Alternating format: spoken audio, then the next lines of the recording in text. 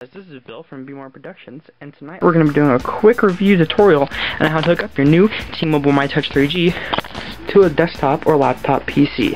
Alright, we're going to get started right away. First things first, you're going to use your cable that came with your uh, new phone, and if you haven't found it out or not, this part right here that goes into the wall comes off and now you have a data cable. Okay, so real quick word of caution. This may, to untrained eye, look like a standard USB drive where you can plug into anything else that you might have a USB drive for. That is not the case. Here I have another USB drive that is a standard drive. If you check it out, we're going to do a quick comparison of these two. The one on the right is going to be the standard. The one on the left is one that comes with our uh, MyTouch. As you can see, there there is a difference. The one on the right is more square. Looks like it doesn't have all the things inside of it that the MyTouch one does. And, I mean, obviously, they don't fit. I don't know if you guys ever played the block and shape game as a kid, but you can't hammer a square uh, block into a round hole. It just doesn't work. So we're going to get rid of this one. Don't use that kind. So first things first, we're going to take the small end, we're going to connect it to our MyTouch. Get in the hole. Alright. Alright, so now we're going to take this guy, we're going to plug it in to the computer.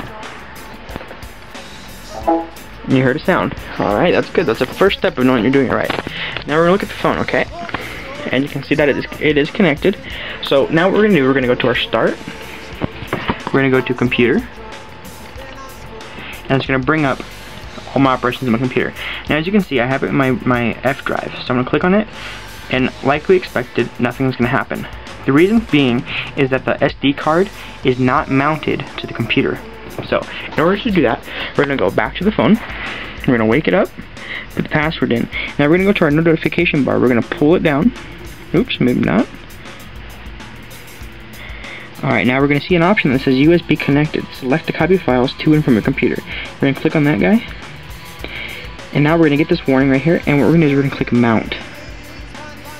Now it's mounted. So now that's going to now enable us to see all the files on our our um, SD card. So here you go. This is a, your basic. Um, all these are all the files for your phone. Um, these are all on your thumb drive. Okay, keep that in mind. They're all on our thumb drive. So basically that's how we're going to do it, okay? Now, what we're going to do in a few other videos, I'm going to go into putting ringtones and, and wallpapers on our phones. So that we'll say that for another video. We're going to keep this one real short and quick. Now we're going to close it to get, once we're done with doing all of our tasks, we're going to close the window. We're going to go back to the phone. We're going to wake it up again.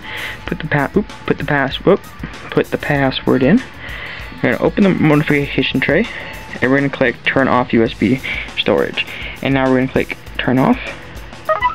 You're going to hear a sound confirming that it has been. You're going to see it saying say uh, preparing card, USB connected. Once it says preparing card, you can unplug, and there you go. Alrighty, well I hope that helped whoever was needing help getting their, their phone connected to their computer. If you have any questions, please feel free to leave a text or video response and we'll help you out. Alrighty, have a good one.